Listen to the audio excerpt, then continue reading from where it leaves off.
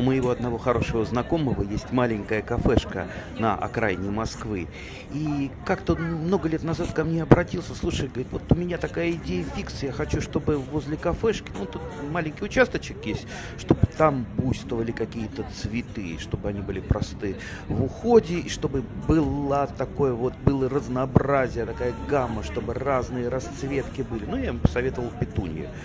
Потом он мне жалуется, слушай, вот я несколько лет покупал петуньи, разные-разные сорта, разные цвета, все время вырастают либо белые, либо желтые, либо белые, либо желтые. Ну, они, конечно, красивые, но я хочу разнообразия.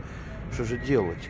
Ну, говорю, ну будешь за границей, попробуй там понахватай с полочек разных э, сортов петуний, может быть, у тебя это получится. Ну, так он вот и сделал, где-то в заднем кармане контрабандой провез в Россию э, десяток пакетиков э, петуний.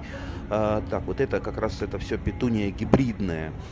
Попросил сотрудника, он ему вырастил хорошую рассаду, причем сажал ее очень-очень рано, подсвечивал, холил, лелеял, и вот что получилось. Пригласил он меня ко мне, смотри, какие невиданные расцветки. Я таких петуний в жизни не видел. Кстати, многие посетители кафе фотографируют очень активные петуни.